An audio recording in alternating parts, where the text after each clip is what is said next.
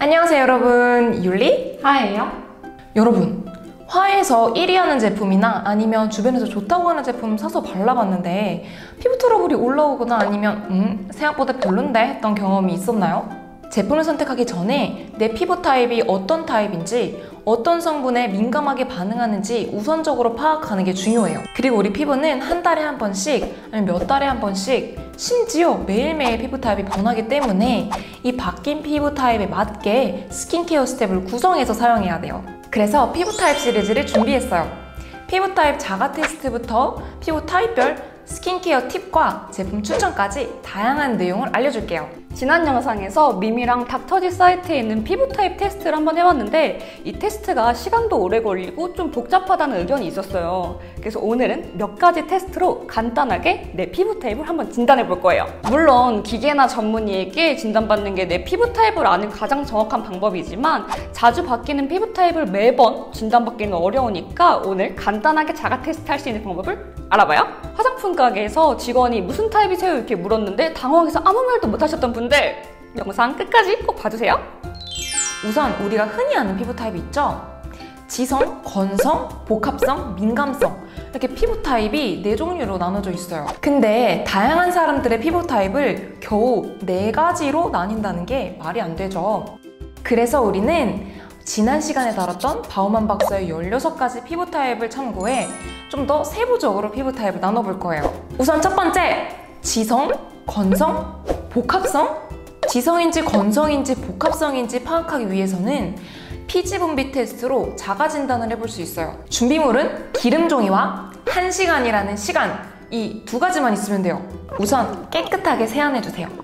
피부가 뽀득뽀득하게 닦이는 알칼리성 세안제는 피부를 건조하게 하고 또 피지 분비를 되려 증가시켜서 정확한 테스트를 위해 피부 장벽을 보호하는 약산성 클렌저로 노폐물과 피지를 제거해 주세요. 세안 후에 스킨케어나 여드름 치료제는 바르지 말고 정확히 1시간 후에 기름 종이로 얼굴 부위별로 꼼꼼히 조심스럽게 닦아주세요. 기름 종이가 없다면 미용 티슈를 사용해도 무관해요.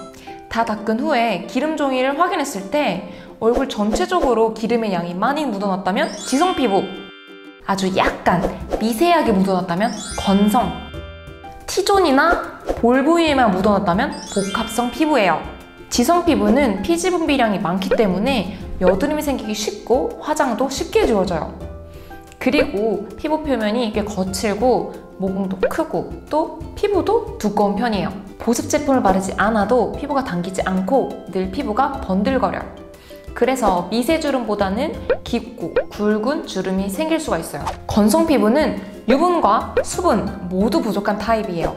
그래서 건조한 날씨나 환절기에 각질이 많이 일어나고 눈가나 입가에 미세주름이 생기기 쉬워요. 또 피부가 상대적으로 얇은 편이고 지성 피부보다 모공이 작아요.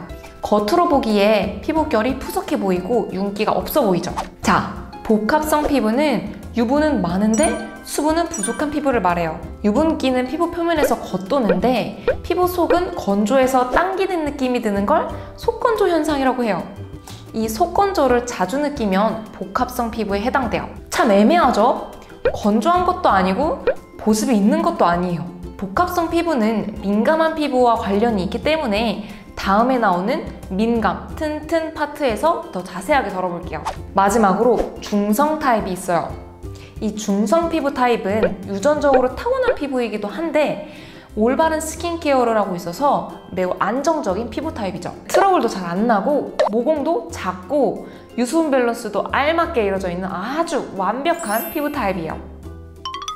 내 피부가 지성인지 건성인지 복합성인지 중성인지를 알았다면 이제 내 피부가 민감한지 아니면 튼튼한 저항성 피부인지 함께 알아봐요.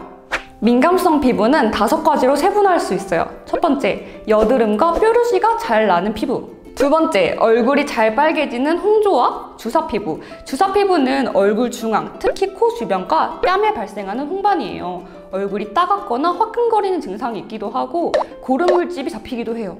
세 번째, 주관적인 느낌으로 가렵거나 따끔거리는 피부.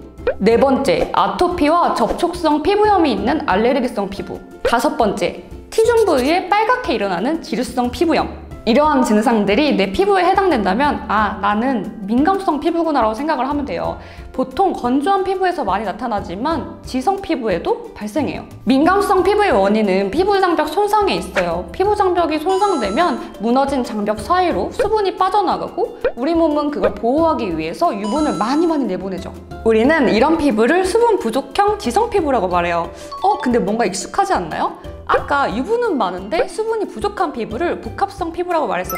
다시 말해 복합성 피부는 수분 부족형 피부, 즉 민감한 지성 피부를 말해요. 미세먼지나 마스크와 같은 외부 유해 환경 혹은 잘못된 스킨케어 습관으로 지성 피부에서 수분 부족형 지성 피부로 변화하는 경우가 늘고 있어요. 이런 피부에는 피부 장벽을 강화하고 수분을 꽉 채워줄 수 있는 피부 장벽 수분 크림으로 관리해주는 거 잊지 마세요.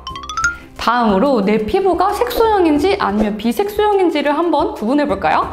일단 거울 앞에서 내 피부를 잘 살펴주세요. 기미나 잡티가 보이고 피부톤이 좀 어두운 것 같다면 색소형 피부라고 생각을 하면 돼요. 이 색소형 피부는 일광화상을 잘 입지 않는 피부예요. 그런데 햇빛 아래 조금만 있어도 피부가 빨개지거나 아니면 일광화상을 잘 입는 피부라면 비색소형 피부라고 할 수 있어요. 비색소형 피부는 기미나 잡티가 거의 없고 대체로 밝은 피부톤이에요. 색소형, 비색소형 피부 같은 경우에 유전적인 이유도 있지만 환경적인 요인에 따라서 변할 수도 있기 때문에 자외선 차단제를 바르고 자외선 케어를 충분히 해주면 개선할 수 있어요. 다음은 피부 탄력 테스트로 내 피부가 탄력형인지 주름형인지 알아볼게요. 아주 간단한 테스트인데 면봉으로 피부를 한번 꼭 눌러보세요. 눈에 안 보이게 순식간에 피부가 올라온다면 탄력형 피부예요. 반대로 회복하는데 시간이 걸리거나 올라오는 게 눈에 보인다면 주름형 피부예요. 주름형 피부는 돌이킬 수 없는 주름이 생길 수 있는 확률이 매우 크기 때문에 안티에이징 스킨케어로 피부 관리를 하거나 자외선 차단제를 꼭꼭 발라서 광노화 현상을 줄여줘야 돼요. 여러분의 피부는 어떤 타입인가요? 지민색주? 건튼 비탈? 댓글로 여러분들의 피부 타입과 피부 고민을 함께 적어주세요. 이 중 다섯 분께 색소 침착을 막아주고 우리 피부를 보호해주는 스킨케어 필수템 퓨리토 센텔라 세이프선을 선물할게요. 더 자세한 이벤트 내용은 더보기란에서 확인해주세요.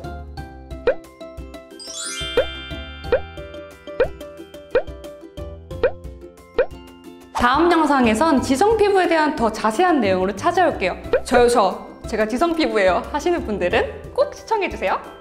이번 영상이 좋았다면 좋아요, 구독, 알림 설정 부탁드릴게요. 다음 영상에서 봐요. 안녕.